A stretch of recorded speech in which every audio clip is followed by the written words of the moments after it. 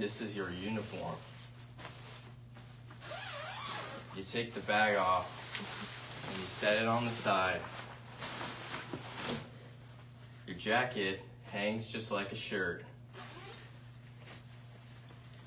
The pants hang on this part. You just fold it over. Alright. Okay, so first you take your pants off of the hanger and you unzip it. The zipper goes in the front. So then you put your foot through the pants and bring it out the other side. If I can do that. Okay. And then you have to put your other foot in it, not stepping on it like I am right now. And then bring your foot out the other side. You should be wearing something underneath your uniform because you can just take it off then easily when you get home.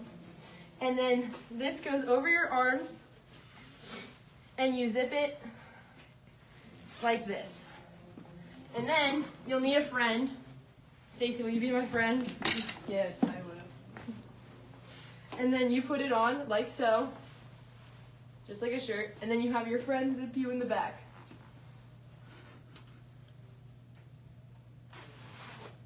And then this is my uniform. You look amazing. Thank you. okay, so you also have to have black shoes and black socks that go all the way up. And then you have to hem your uniform to you. So the uniform is way too long on this side and perfect on this side. I did that by having these buttons inside connect to this button right here. So then I folded it over and I put it in the second button. And you may have to take the uniform off for this, but sometimes you can do it just like this. And then I realized, oh no, I did it wrong because it doesn't fit the way that it did. So then there are more buttons. There are more buttons on the inside so that I want it even tighter.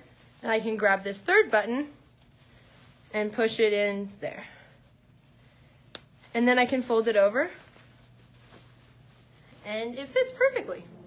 And then it's the same thing for the legs. So with the pants, you should probably take them off, but you just unbutton, and then there are buttons all the way up the side, and you reattach the buttons to where you want them. Just like that. And then now it fits to my leg.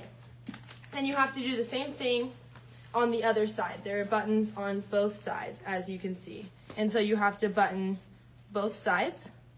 And then once you get a perfect crease, you want to go over it with an iron so that it makes a nice crease right here. Okay, and that's your uniform. Okay, these are your gauntlets. They are not a hat or a necktie. They are gauntlets. Gauntlets are these things that go around your arm. They have Velcro, and then you connect the Velcro, and it becomes a wrist piece. You want the button right here to be facing away from you. So when I put my gauntlets on, they're both facing away from me. If I switch arms and put the wrong gauntlet on the wrong arm, they will look like this. And the buttons will be facing in towards me. So you want them always on the outside.